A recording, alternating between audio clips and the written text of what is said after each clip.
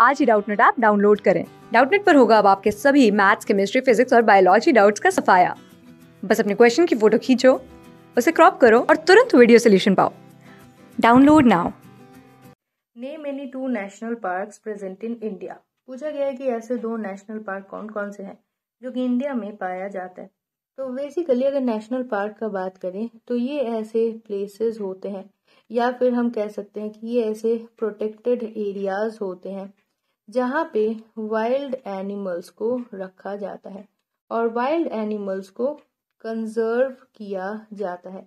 और ये जो साइट होते हैं या फिर ये जो हैबिटेट होते हैं, ये उनके नेचुरल हैबिटेट ही होते हैं।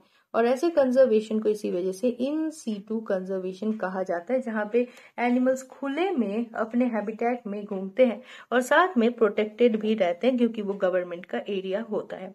तो ऐसे दो नेशनल पार्क जो कि इंडिया में पाए जाते हैं, उसमें पहला होता है जो कि है काजीरंगा नेशनल पार्क।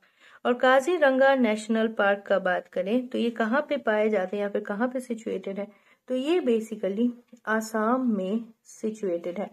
वहीं पे जो नेक्स्ट हम लोग यहाँ पे नेशनल पार्क लिखेंगे, वो है यहाँ पे जिम कॉर्बेट नेशनल पार्क।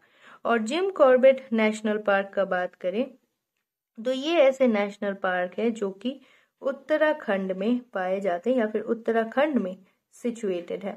और अगर देखा जाए तो ये दोनों नेशनल पार्क जो है, ये बहुत ही ज़्यादा मेन नेशनल पार्क है ऑफ़ इंडिया। इन दोनों को छोड़ के भी अगर हम लोग देखें तो इंडिया में टोटल 104 नेशनल पार्क्स पाए जाते हैं।